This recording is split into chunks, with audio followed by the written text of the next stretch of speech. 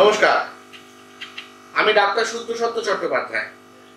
আমি পেশায় একজন মেডিসিন বিশেষজ্ঞ। আমার এই যে ইউটিউব চ্যানেল আপনারা দেখছেন। এই ইউটিউব চ্যানেলটার আমরা নাম দিয়েছি শুদ্ধ টাচ শুদ্ধ টাচে আমরা প্রত্যেকটা দিন যখন একটা করে ভিডিও নিয়ে আসি, সেই ভিডিওর মধ্যে বিভিন্ন রকমের ইনফরমেশন আমরা দেওয়ার চেষ্টা করি। যে ইনফরমেশনগুলো কিনা মানুষের বিভিন্ন প্রয়োজনে কাজে লাগে। এবং তার মধ্যে যেমন মেডিসিন বা একটা অসুখ সংক্রান্ত বিভিন্ন রকমের ইনফরমেশন থাকবে তেমনি থাকে।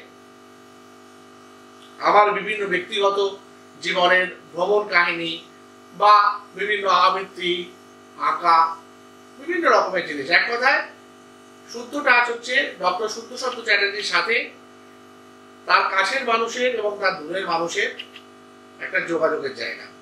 ভালো লাগলে সাবস্ক্রাইব করবেন এবং আপনাদের যে সমস্ত নিজেদের ইউটিউব চ্যানেল হোয়াটসঅ্যাপ চ্যানেল ফেসবুকে শেয়ার করবেন। ভালো থাকবেন, সুস্থ থাকবেন। নমস্কার।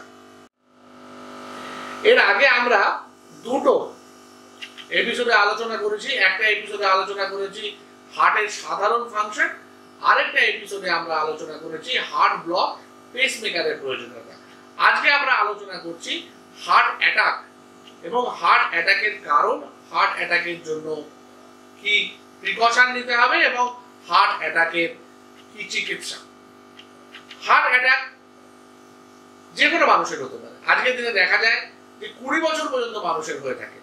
এবং এটা কি? অ্যাকচুয়ালি আমরা যেটা প্রথম এপিসোডে আলোচনা করেছিলাম, সেই এপিসোডের থ্রু দিয়েই বলতে পারি, যখন আমাদের সিস্টোল ডায়াস্টোল প্রপারলি হচ্ছে না কখনো হার্টের মাসেল কমজোরি হয়ে যেতে পারে, কখনো শিরা ধমনীতে কোনো কোলেস্টেরল স্তর পড়ে যাওয়ার জন্য শিরা ধমনী সংকুচিত হয়ে যেতে পারে, কখনো হার্ট নিজে থেকে দুর্বল হয়ে যেতে পারে, সেগুলোর জন্য যখন প্রপার সিস্টোল ডায়াস্টোলে রক্ত চলে যাচ্ছে না, তখন হার্টের মধ্যে যে ধমনীগুলো সাপ্লাই করে, তিনটি ধমনী রয়েছে, একটাকে বলে বাঁ দিকের ধমনী একদিকে, একটাকে বলে ডান দিকের ধমনী আরেকটাকে বলে সার্কামপ্লেক্স ধমনী এই তিনটে ধমনী দিয়ে আমাদের হার্টের পুরো জায়গাটাতে সাপ্লাই হয় ব্লাড সার্কুলেশন হয়।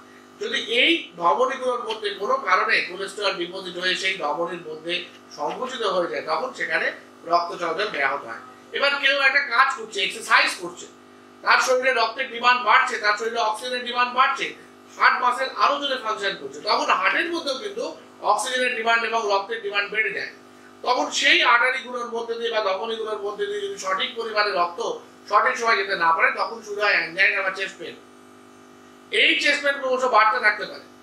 তখন সেই শিরা ধমনীটা পুরোপুরি ব্লক হয়ে যেতে পারে। তখন সেখানে আর রক্ত পৌঁছায় না বা অক্সিজেন পৌঁছায় না, তখন সেখানকার যে পেশি, সেই পেশি কিন্তু নষ্ট হতে আরম্ভ করে, খারাপ হতে আরম্ভ করে। আমরা এটাকেই বলি অ্যানজাইনা এটাকেই বলি আমরা অ্যাকিউট করোনারি সিনড্রোম। এর মধ্যে থাকে stable unstable angina non ST elevated myocardial infarction এবং ST segment elevated myocardial infarction myocardial infarction heart অ্যাটাকেরই বৈজ্ঞানিক নাম।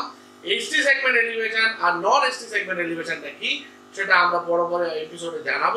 কারণ এই হার্টের ব্যাপারগুলো একটু জটিল।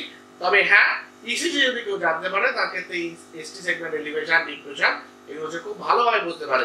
আমি সেগুলো যতটা সম্ভব বোঝানোর চেষ্টা করব। আজকে আমরা যে হার্ট অ্যাটাক নিয়ে আলোচনা করছি, সেই আলোচনা এবার চলতে থাকবে।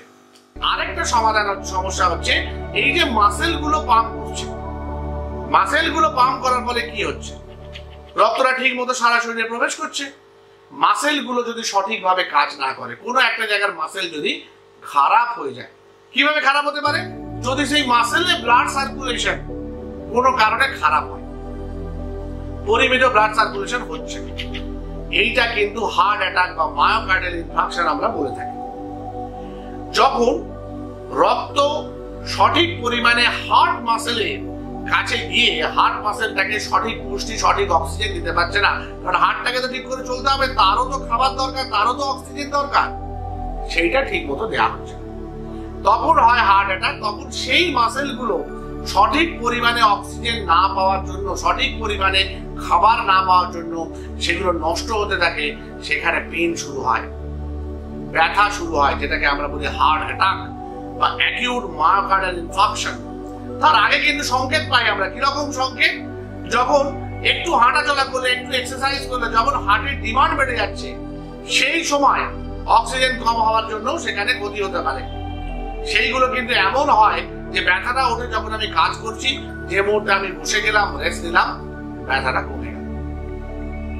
এখান থেকে কিন্তু আমরা বুঝতে পারি যে এই ঘটনাটা আস্তে আস্তে আস্তে আস্তে কিন্তু খারাপ যাচ্ছে এবং হার্টের সমস্যা হচ্ছে। এগুলোর বাইরের লক্ষণ কি? এবার আমরা সিমটমে আসি। কি কি ভাবে আমরা বুঝব যে আমার হার্ট অ্যাটাক হচ্ছে বা হতে পারে? একজন মানুষ সবার কিন্তু হার্ট অ্যাটাক হবে। হার্ট অ্যাটাক হওয়ার জন্য কিছু কিছু কিছু কিছু ক্রাইটেরিয়া থাকে। ক্রাইটেরিয়া মানে কেউ কি চায় নিজে থেকে হার্ট অ্যাটাক করতে না। প্রোফাইল হয়, এক একটা মানুষের এক এক রকম প্রোফাইল হয়, যে প্রোফাইলের বেসিসে তার হার্ট অ্যাটাকের প্রবণতা নির্ভর করে। সেটা কিন্তু আমরা মানে ডাক্তাররা অ্যাসেস করে থাকি।